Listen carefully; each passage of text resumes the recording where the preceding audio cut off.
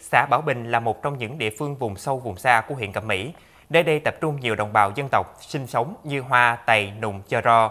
Hàng năm cứ sắp đến ngày tụ trường, việc tìm hiểu hoàn cảnh các gia đình khó khăn và vận động học sinh ra lớp được các trường học trên địa bàn chủ động thực hiện nhằm đảm bảo 100% học sinh ra lớp đúng sĩ số thời gian quy định. Năm học 2019-2020, trường Trung học cơ sở Trần Hưng Đạo, xã Bảo Bình có khoảng 800 em học sinh các khối từ lớp 6 đến lớp 9 theo học. Trong đó, đồng bào dân tộc chiếm 40% học sinh toàn trường. Đa số các em học tại đây đều có nhà xa trường từ 7 đến 10 km. Gia đình chủ yếu làm vườn rẫy, một số ít đi làm thuê để mưu sinh, nên đời sống gặp rất nhiều khó khăn. Do vậy, việc học hành của các em ít được quan tâm. Nhiều trường hợp gia đình cho các em nghỉ học giữa chừng vì bố mẹ không đủ điều kiện cho các em theo học tiếp. Năm nay con lên lớp 6, được gia đình con khó khăn được thầy cô tới vừa vận động và cho sách vở con xin biết ơn thầy cô.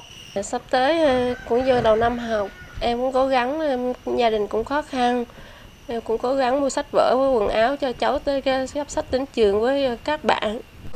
Để giúp đỡ các em, nhất là các em học sinh lớp 6 mới ra lớp, các trường hợp gia đình đồng bào dân tộc khó khăn.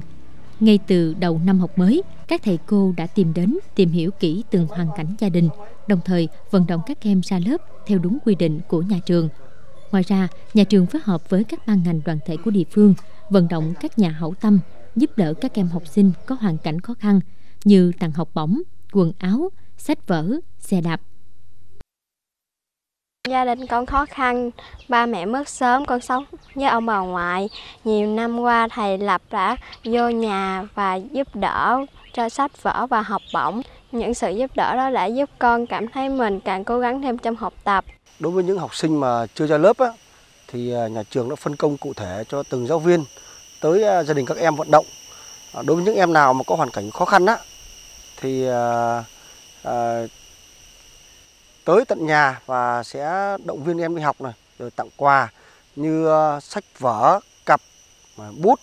Ờ, ngoài ra thì còn vận động một số cái mạnh thường quân là ủng hộ cho cái khoản đóng học cho các em, ví dụ như thẻ bảo hiểm y tế.